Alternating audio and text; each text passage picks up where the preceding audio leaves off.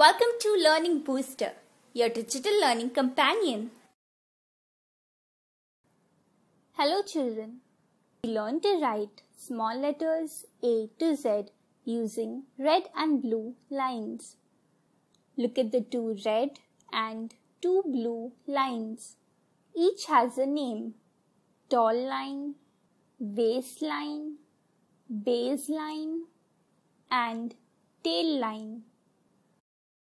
In this video, we will learn to write small letter W. Letter W. Start from the waistline and make a slanting line to the right till the baseline. Then from the baseline make a slanting line to the right till the waistline. Now from there make a slanting line to the right till the baseline.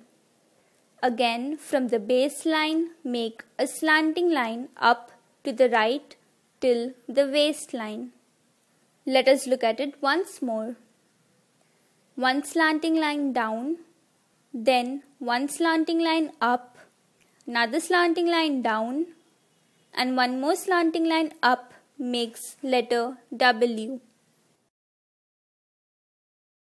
To download a free practice worksheet on this topic, click on the link given in the description box below.